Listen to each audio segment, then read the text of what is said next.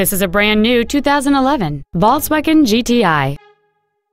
It has a 2.0-liter four-cylinder engine and a six-speed manual transmission.